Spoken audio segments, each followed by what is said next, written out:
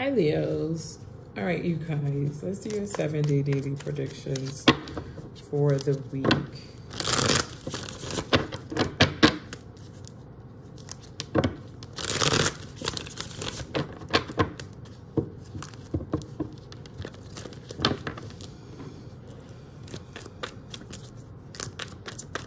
What's coming up for them for this uh, experience?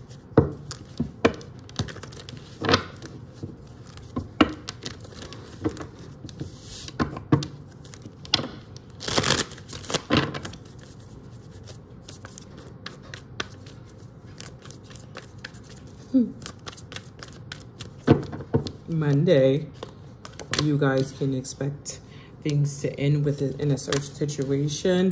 Tuesday, you are go going to hear about a death. And they're saying this to say to you the number three being significant here. Well, Wednesday, make sure that you are paying attention to your intuition. Do not ignore it. That's what it's there for. And definitely keep your hopes up on Thursday. Friday, you have a lot of major arcanas coming out. Friday, this is the, oh, it's your turn. Spirit is saying it's your turn to work your magic. The tower. You're getting ready to get rid of what doesn't belong. They're getting ready to get rid of what doesn't belong. Spirit said only give what you can give and expect to receive that back. I'm clarifying the magician and the death card. The magician first, please.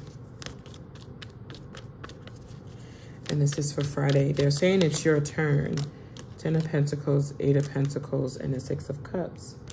Your fresh start, your new beginning, your turn to get what you want. To use your magic, okay? The Death card, please. They're using a number three with the Death card, so that's significant here, okay?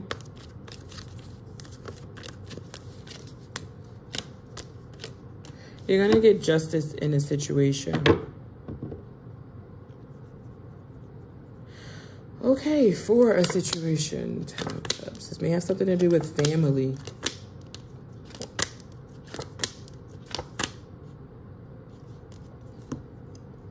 Message.